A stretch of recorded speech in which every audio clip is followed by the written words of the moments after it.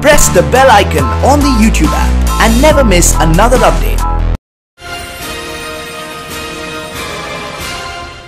भारत पाकिस्तान के बीच संचालित हो रही थार लिंक एक्सप्रेस ट्रेन में आतंकी गतिविधियों की आशंका जताई गई है। इसके चलते सुरक्षा इंतज़ाम बढ़ाए गए हैं। यहाँ तक कि अब भगत की कोठी रेलवे स्टेशन स्थित प्लेटफॉर्म संख्या एक पर थार लिंक एक्सप्रेस ट्रेन लोहे की जाली से ढककर खड़ी की जाएगी।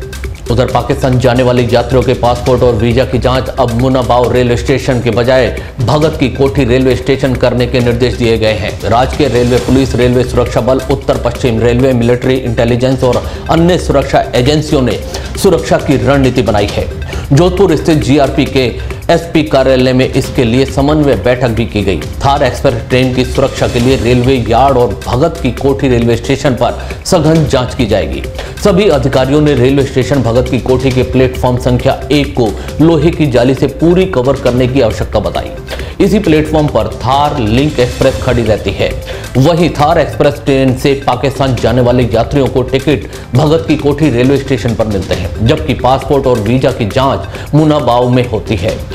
दस्तावेजों में कमी मिलती है तो यात्री को मुनाबाव से वापस जोधपुर लाया जाता है। इसके समाधान के लिए पाक जाने वाले यात्रियों के पासपोर्ट और वीज़ा संबंधी दस्तावेजों की जाँच भगत की कोठी स्टेशन पर ही की जाएगी।